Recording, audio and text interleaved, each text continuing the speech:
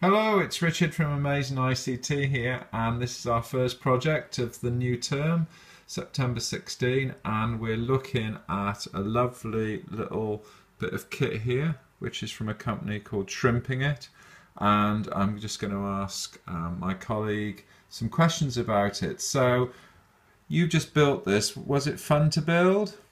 Yeah, it was great fun. It was really, really easy and it was really good using all the different parts. So you get all the parts in the kit and you get this breadboard which allows you to plug in the individual wires and the microcontroller is called an Arduino. So what happens when you've put it together based on this coordinate system of numbers on here and letters? What what do you do next? So what we need to do is we need to plug in the USB port which is here.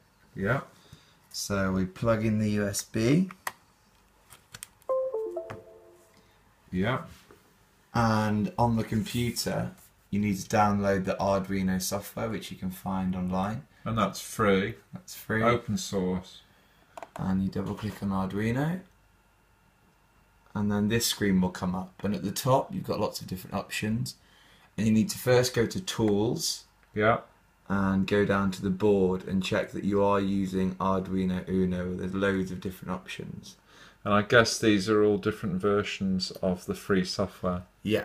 And then you need to check the port, check that you're using the H. Um, each breadboard has a different name. So the one that we're using is called COM5. But they'll all have different names. And that will link to the individual port on the, in this case, the PC. Mm-hmm.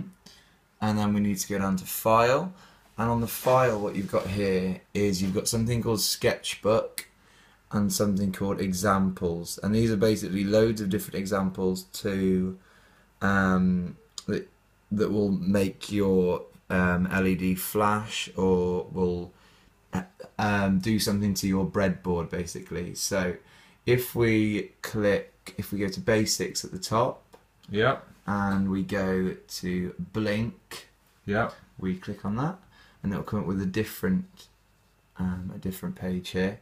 And this is all the. It looks like sort of some examples of some different program program in commands, really, mm-hmm. all in order. Yeah.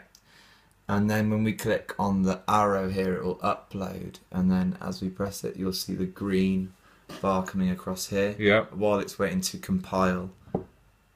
So compiling is something we've used with the microbit as well. It's almost um, just putting the program together so it's it's it's in a workable form.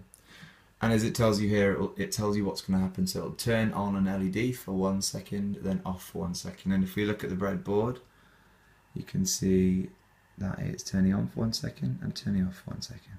What I really like, if you go back to the program, scroll down the program, um, you can change this. So that's a variable. So one second in this program is a thousand so we could change up to 500 so it was sort of half a second on and one second off. Mm-hmm. and i notice you've also we're talking about inputs and outputs so you've got an input here um, via a little switch haven't you? Mm-hmm. so just try pressing that and see if anything happens. So when we press the little input you'll see that it does a double flash and then continues to blink. I'll press it again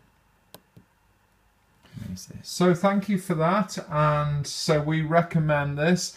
Um, we have found that you know it, it's quite fiddly, so it, it's more for secondary than primary. Um, but we recommend this company, ShrimpingIT, which is based in Morecambe, and you can buy all the kits online. So thanks for joining us.